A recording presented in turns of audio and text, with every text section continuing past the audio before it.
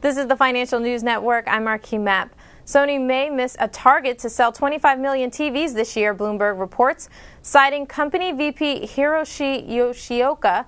Sony, which is the third largest television maker in the world, could miss its target by a quote little bit, the report quoted Yoshioka as saying. Still, the company's overall sales are in line with the prior year. Sony ADRs are down 0.62% or 22 cents to $35.17. For more news updates, stay tuned. You're watching the Financial News Network. I'm Marquis Mapp.